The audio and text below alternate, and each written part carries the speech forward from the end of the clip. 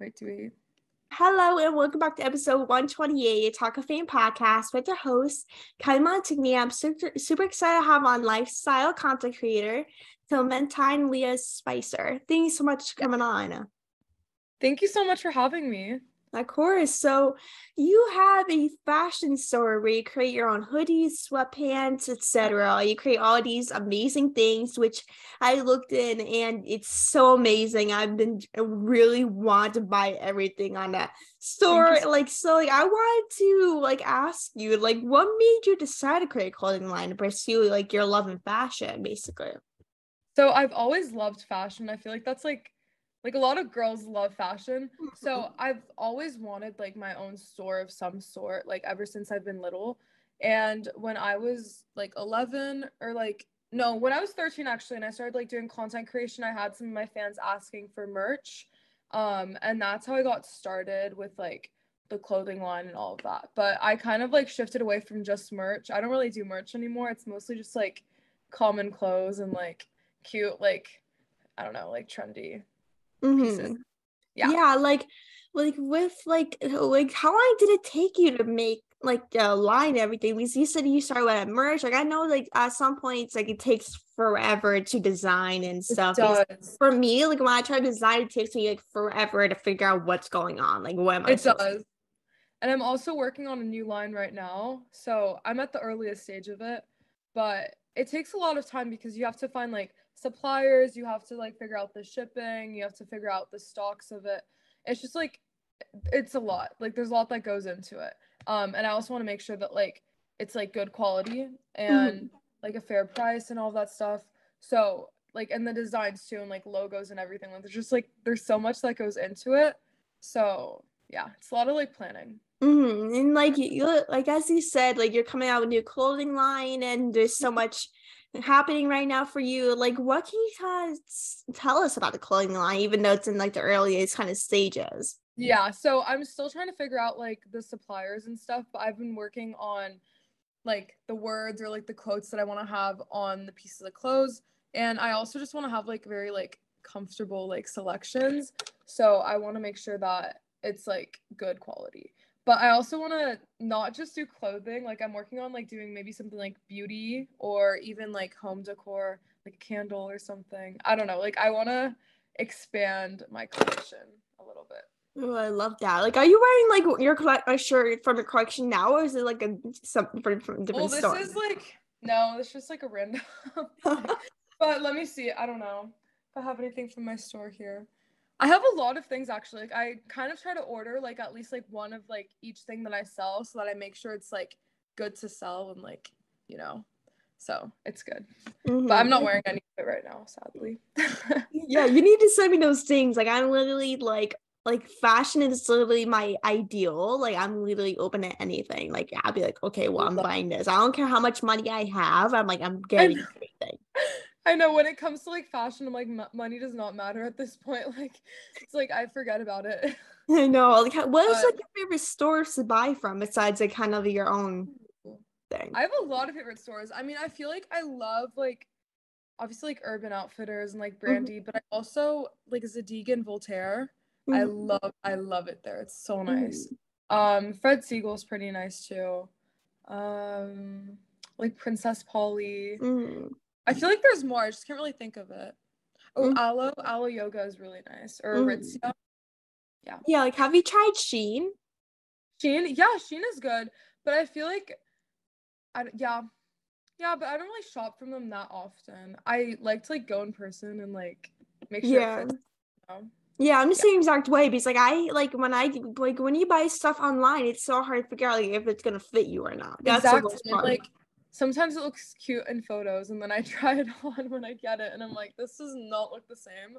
Mm-hmm. So yeah, just... like when like you like buy something you love, like you're like, oh my god, I need to get this top or pants, but then you wear, you're like, oh, this is not look like the photos, like, like this is now what I wanted. Literally. And yeah. like the good thing about Shein is like everything is so cheap. Like I know everything's so cheap. Definitely. No, it's really, really cheap for sure. Mm-hmm. Like for like a shirt, it's like five dollars, and for like earrings, it's like a dollar each. It's insane. But like, yeah, for earrings though, like I have to be so careful. Like I don't know. Like I bought like these five dollar earrings in my ears. Like it was so bad for me, but I don't know. yeah, because like you too. need to be like careful like when you buy especially earrings because like, you don't know if it's like affected or whatever it is. Yeah, exactly. Mm, yeah. Like how like with going back to your clothing line, like how do you kind of come up with product ideas for your clothing line? Is it like a whole kind of process? Well, I take like okay, so I love fashion and I have like a ton of clothes. So I take like what I like and like my style and then also like what my friends like and I just try to like gauge to see like what's trending and then based off that like I'll try to create something like in that niche. Um yeah. Mm-hmm. Like, like something like trending that like my friends or like me that I would wear, like something that like I actually like. Mm-hmm. I get you. Like sometimes, like you just need to go off your basal style because if you yeah, like, exactly. if you don't go off your basal basic style, then you're like, oh, I don't think I'll buy this. I need to go off something that exactly. I would buy or something. Like if I wouldn't wear it, I'm not gonna sell it. You know? Yeah, I mean? exactly. And like I wanted to go into a little bit of content creation a bit, and like you've been doing content, like making content for a long time now, in a couple of years, mm-hmm. and like you have received like millions of views on Instagram, TikTok, and YouTube like that's absolutely insane, man. Like, like I know. I never really expected it either. Like you never ex- like you never expected to make millions of views on as a content creator. Like no, never as time went on. I never like went into doing all this like wanting to be a content creator because I was initially an actress mm-hmm. when I was 11 and then I had an audition for like doing YouTube videos with this YouTuber and that's how I really got started. Like I started doing YouTube videos and like long like long videos, but now mm-hmm. it's like more like short TikToks and I like that so much better. Mm-hmm. But it all kind of just happened naturally. Like I never just like went into like doing this like being like oh my god like I want to be a content creator. It just like it all happened and I love mm-hmm. doing it. So. Yeah, like do you think like acting like kind of shaped you into a content creator? Like I know like you did acting, then you mm-hmm. kind of switched over to content creation. Like, did you think like acting paved the way for you as a content creator, or is it kind oh, of like definitely. the yeah? Because I feel like acting taught me a lot of like qualities, like to be like outgoing, like mm-hmm. expanded my personality a little bit, made me more fun, um, and just like prepared for like this industry in mm-hmm. a way and i feel like being a content creator like you have to do acting sometimes like you have to have like that like bubbly personality or like i don't know like i feel like they are similar in a way mm-hmm. but it's just like content creation is more like improv like improv yeah whereas like, acting is like scripts and like all of that which yeah. i didn't like like memorizing all those scripts was not for me it was like it was so overwhelming sometimes mm-hmm yeah, like for me, like I can't like memorize like a like a thing I have to do earlier today. Like I would easily. I know. No, it was insane. It was like 15 page scripts sometimes, and I was like in school, and it was just so overwhelming because I was like, how am I gonna memorize all of this? And like most of the time, it's like you don't even hear back from the like casting, mm-hmm. so it's like I don't know, kind of waste of waste of time sometimes. Yeah, exactly. And sometimes like this is how like the entertainment industry is. Like you're more likely to get more no's than yeses. And that's like the worst part is that like when yeah. you want to get a job, and especially actor, want to get interviews, you want to get press, you want to gain, it's like it's seriously the hardest thing you have to do because even though you put a lot of dedication, things still don't work out. You get mostly get no's and you just still don't get it, even though it took a, a lot of time exactly. Yeah. I mean, I feel like a lot of people do succeed too, but mm-hmm. it takes a long time and a lot of rejection. So I feel like as an actor, you can't take anything personally and you can't get discouraged because you're going to get rejected a lot. Mm-hmm. Um, and yeah. Mm, exactly. And like, like what is kind of like your creative process like as a content creator? Because i know you said you're aligned to tiktoks and doing all these yeah. things like what is kind of like your creative process trying to kind of make content and trying to figure out what your viewers like? Like how do you kind of come up with that? Um well i have to like come up with like new ideas every day because i try to post like one to three times a day on tiktok so it's like a lot of like ideas that i need to come up with but what I do is I go on like my explore page or my for you page and I just try to find like any viral trends that I could do. And then I never want to like copy content. Like I want to have like my unique like take on the trend. Mm-hmm. So I like relate it relate it to actual experiences that I've been through. Um and hopefully other people will, will relate to like those things. Mm-hmm. Yeah, like I wanted to ask you, like, did you see that chicken dance? That's like there's like a like kind of like a chicken thing, like dance that everyone's doing right now. It's like it's like a song. Like the two dogs or whatever. No, I don't know actually. Like I like this like he's like you this is like this dance or that everyone's doing it's like, it's like a Silvis nut type of song. Like I will send you it. Like I'll send you it. And I'm sure you. I'm sure it's probably on your TikTok. It's like this yeah. whole dance that's kind of like going viral right now. Yeah, honestly, I can't dance. Like that's one thing about me. Like being a content creator, like I just I can't dance. And it's like every time my friends like want to do videos, it's like a dance, and I'm like, you guys. yeah, I know. Like like I legit just got got into like a job like I just like working for a baseball team near me and like I literally had to do dancing and like now I'm like I'm a horrible dancer. Like how am I supposed to dance in front of thousands of people if I can't dance? Like I know what am I supposed to do? Dancing is so hard. Like I just like I've never like caught on. Like I took like classes and I just can't. It's like it's I so know. Bad. It's like as much as like I love dancing, it's just like if you like dance in front of a thousand people and embarrass yourself, like that's not it. Like it's like I, I can't do that. I can dance in my room and just be my own entertainer. But then when you're in like thousands of people, people that you know or may not know, and you recognize you're like, oh my god, like this can't be it. Like this can't happen no, yeah, I just I don't know. But it's okay. I like I don't know. The content I do is like mostly like lifestyle or like relatable like POVs. Mm-hmm. So it doesn't require any dancing, thankfully. But I feel like occasionally like I do learn to dance or so. So mm-hmm. yeah, like I was sending you that dance. I'm sure you probably That's seen it.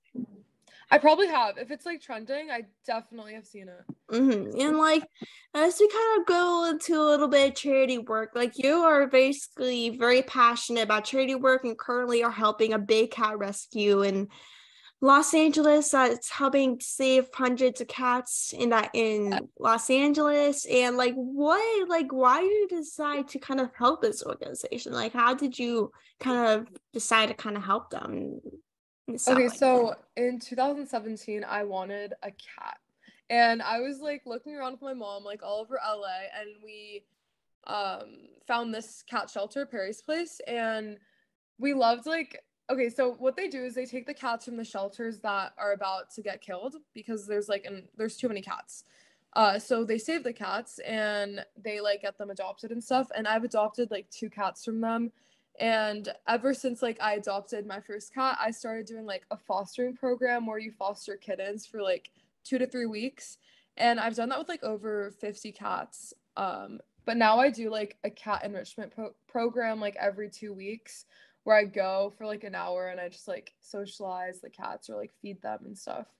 But I'm just like I or uh, volunteer for them because it's like it's a good cause and it's like i don't want like all these like innocent cats to like die in another shelter. So like i want to like promote them so that they are able to get more cats adopted and um, all of that. Mm-hmm. like do you, are you adopting any cats right now or is it kind of like oh you're just kind of happy with what what you have? Well i have two cats already so i feel like that's enough um because it is a lot of work. It's like you have to feed them like twice a day and like all of that.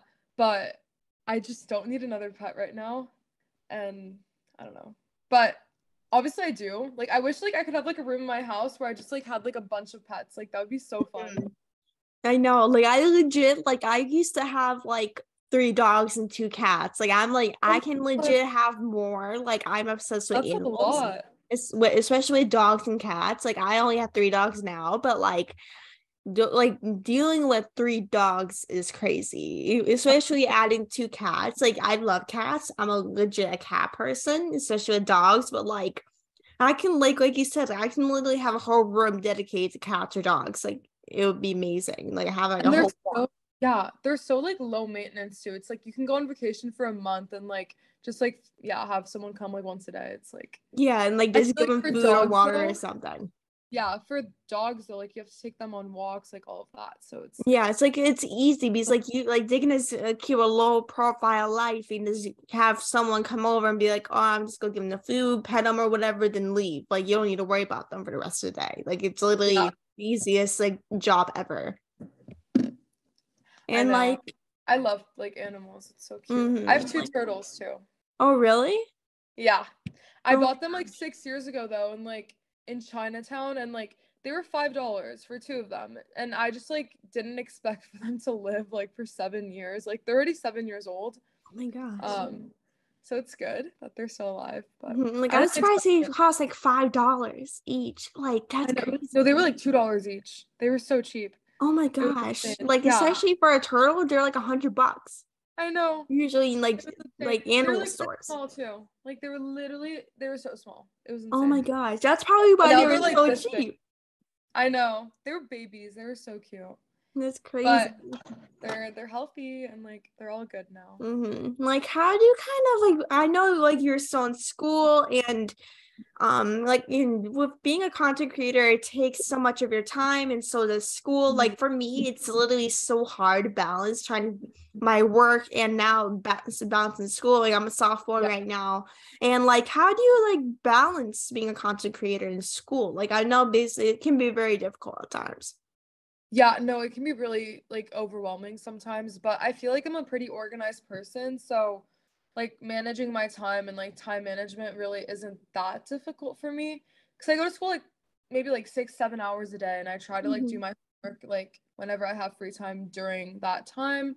Mhm. Um, and then when I come home, it's just like I check my to-do list and I just do whatever is most urgent to do. And yeah, honestly, it's not like that difficult. But sometimes like I do have events where I have to leave school early and then um I am gone like the whole night, so I don't have time to do anything. Mhm. But I guess I I don't know, I've been balancing it and I have straight A's.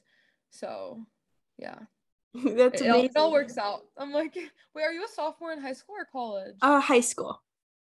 really? hmm Oh my god, wait, you're younger than me. Wait, where are you? Are you are you still in I'm high school or you're in college? No, I'm a junior in high school. Oh, really? Yeah, Wait, what year were you born? Were you born in 2004 or? six. Oh, two, wait, you were born in 2006? Yeah, you too? Yeah, I was born in 2006. No way. Wait, what month? I was born in September. May. Oh, in May. You're so you're a couple of years months older little- than me. Yeah. Wait, Like, how'd so you- cool. Like you must have like got earlier like than I did because like I was born in September. Then like I was supposed to um like go in earlier, but I missed the deadline. If I was in the deadline, I would be a junior. So like, Mm. which is crazy to me. I have some friends who are juniors and they they were born in like 2007. Oh really? Yeah. No way. Like that's like I like sometimes people ask me, like, "Are you like a junior?" I'm like, "No." Like even if I was born 2006, I'm like, well, if I didn't make that deadline, if I was born maybe like a couple weeks earlier, I would have made the deadline be a junior. Like some people con- confuse me for being a junior because of like what I, what year I was Oh, born. really? Yeah. Oh, that's weird. Yeah, because my best friend, she's born like November 2006 and she's a junior. Oh really? Yeah. So I don't know older- what's up with that now. Like I know. Maybe it's different in like California.